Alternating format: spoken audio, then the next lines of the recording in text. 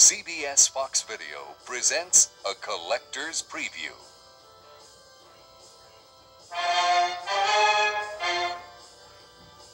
A psycho. A small time hood. Where's the stuff, Paulie? Where's the stuff? A master thief. One solid year of planning.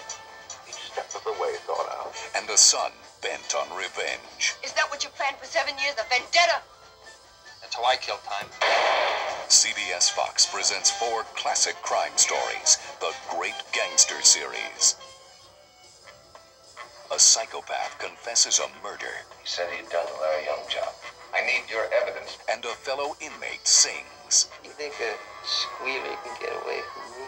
An ex con gets a second chance at life if he can keep from getting killed. There's only one way to get you, though. And that's my way. Victor Mature, Brian Donlevy, and Richard Widmark in his Academy Award nominated screen debut star in Kiss of Death. A man is shot dead. A deadly contagious disease is discovered. Can you get this man cremated? Well, I suppose. I don't want any supposing, Ben. I want him cremated right now. And the exposed killers are on the loose. We have 48 hours. Shortly after that, you'll have the makings of an epidemic. We can't turn up an unknown killer in two days. They're grabbing every guy in sight, whether he's got a record or not. Yeah.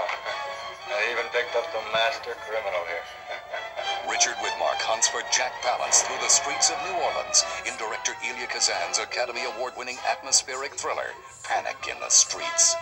Just told you I don't like